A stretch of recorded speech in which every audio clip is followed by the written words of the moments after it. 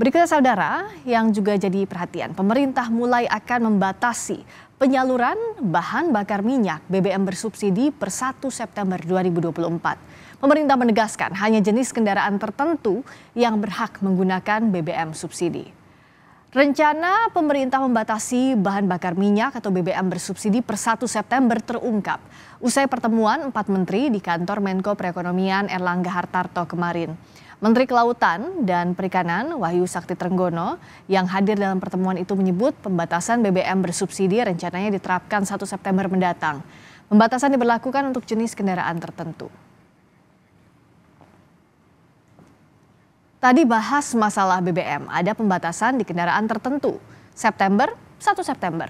Kata Wahyu saat ditanya wartawan seperti dikutip dari kompas.com selasa 17 Juli 2024.